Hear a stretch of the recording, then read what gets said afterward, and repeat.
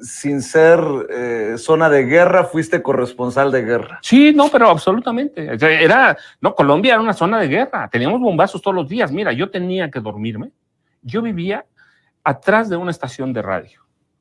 Tenía que dormir abajo del colchón por si estallaba una bomba. No porque me fuera a matar, sino porque los vidrios de la ventana te pueden caer en la cara. Era, era una Colombia muy violenta.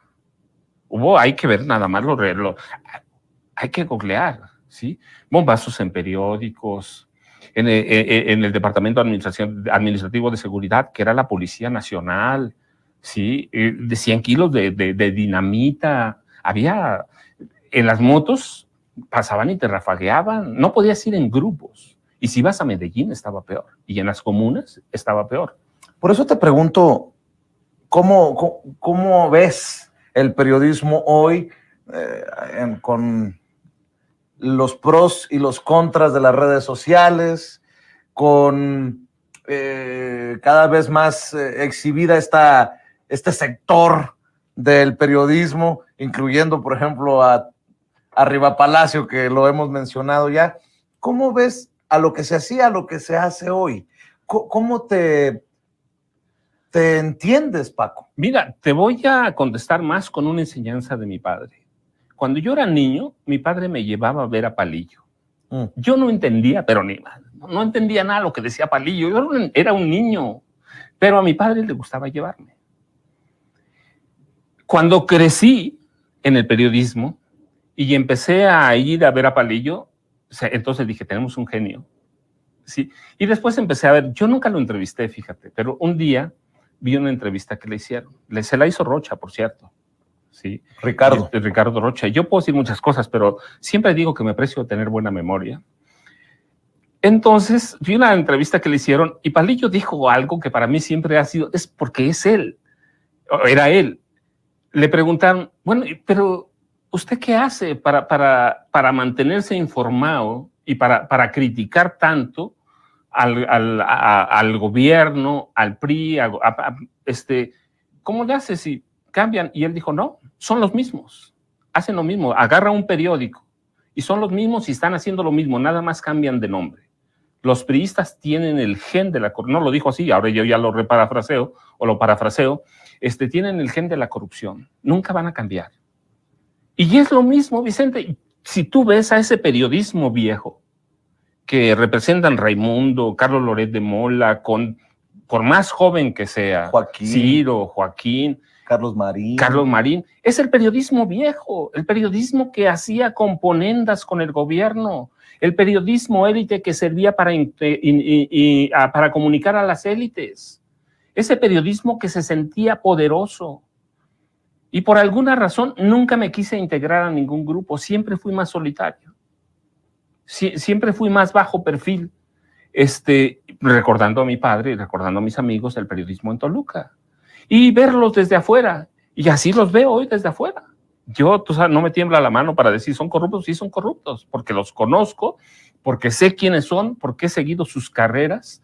Entonces, no han cambiado, no van a evolucionar, no entienden la tecnología, pero no la van a entender porque viven inmersos en la corrupción, porque han vivido para ellos mismos. Muchos de ellos son millonarios, hay que ver las casas que tienen, hay que ver sus cuentas. O me dijeron que tú tenías un, rancho así tipo. No, pues me gustaría. En Valle de Bravo. Me gustaría. No, mira, yo, yo, yo siempre lo digo, porque además soy abierto en eso.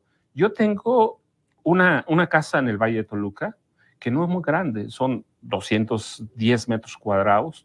Tengo un departamento en Ciudad México y tengo una casa en el sur, que no digo porque ahí es peligroso, pero tengo una casa en el sur, este, en Tierra Caliente, que también son menos de 300 metros.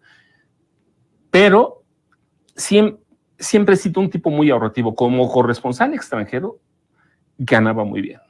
Muy, muy bien.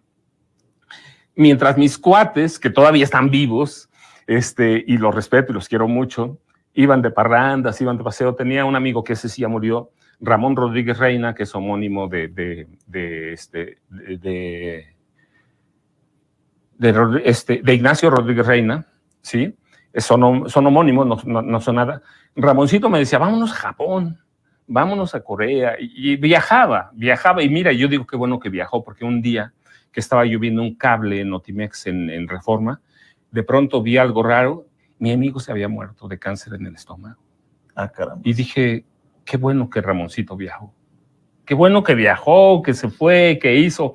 Yo fui muy metódico. Yo cuando cobraba mis salarios, cobraba en dólares.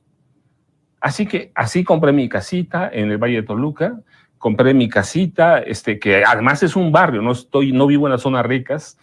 Este, son, mi, mi, casa del sur es de adobe, fíjate. ¿Y qué piensas cuando escuchas al presidente, por ejemplo, decir, Loret de Mola se quema 35 millones de, pesos, tiene un, eh, un apartamento donde García Luna tenía ¿En Miami? intereses en Miami, cuando ves que, o cuando se habla de que Raimundo Rivapalacio también cobraba bien y tenía su, o tiene su camionetota, ¿no? ¿Qué, qué piensas? Mira, yo, a mí me da pena, porque yo, yo concibo el periodismo de otra forma.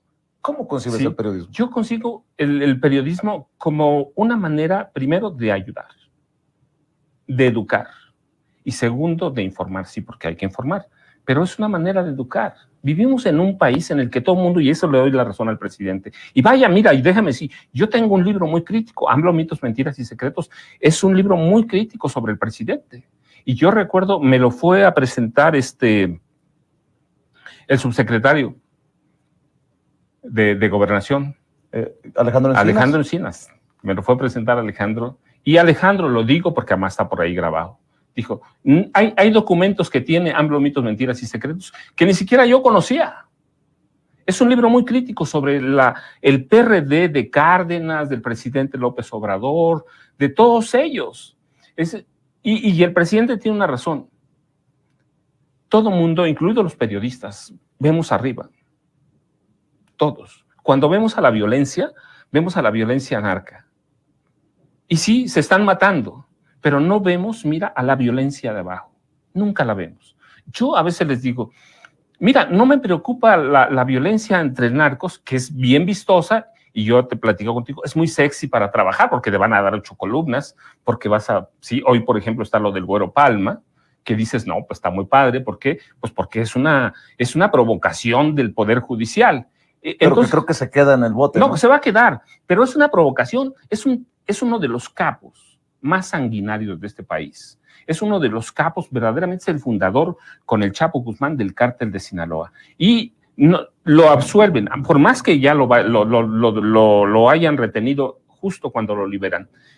Es una provocación de los jueces, es una provocación abierta. Eh, eh, el- el Poder Judicial te va a decir, hacemos lo que queremos, ¿sí? ¿Qué es lo que están haciendo con el Plan B, con, con Linda Cristina Pereira Galvez, con Luis Cárdenas Palomino? Pero el presidente tiene otra visión y yo estoy absolutamente... Nosotros vemos aquí porque nos van a publicar la de 8, pero el presidente está viendo la otra violencia. Recientemente hubo una nota de un joven que robó algunas legumbres y lo lincharon y lo mataron. Y si tú te subes en ocasiones a un transporte, en el Valle de México, para no ir a Puebla, para no ir al, sur del Estado de México, y se sube un asaltante y finalmente te roba, pero lo puedes, lo puedes alcanzar y recuperar, lo matamos. Entonces, nos hemos vuelto una sociedad deshumanizada y el presidente dice, hay que reconstruir este país desde abajo. El tejido social está roto y no lo vemos acá arriba. Y la gente dice, bueno, este, pero trabajan para el narco. No, hay una violencia que no tiene que ver con el narco, sino con la desigualdad en la distribución de recursos.